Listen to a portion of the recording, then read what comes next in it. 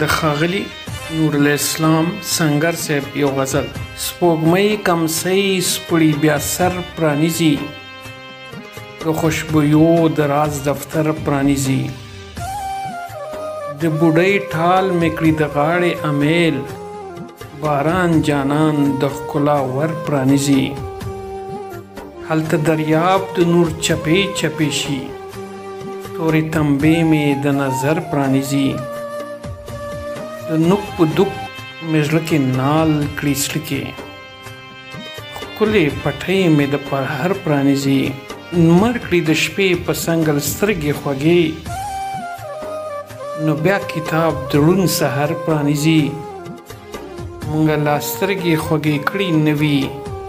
مرغۍ په څانګو کې وزر پرانیزي ستایي ستایینو کې سنګر د مینې غوټۍ چې شونډې په کودر پرانیزي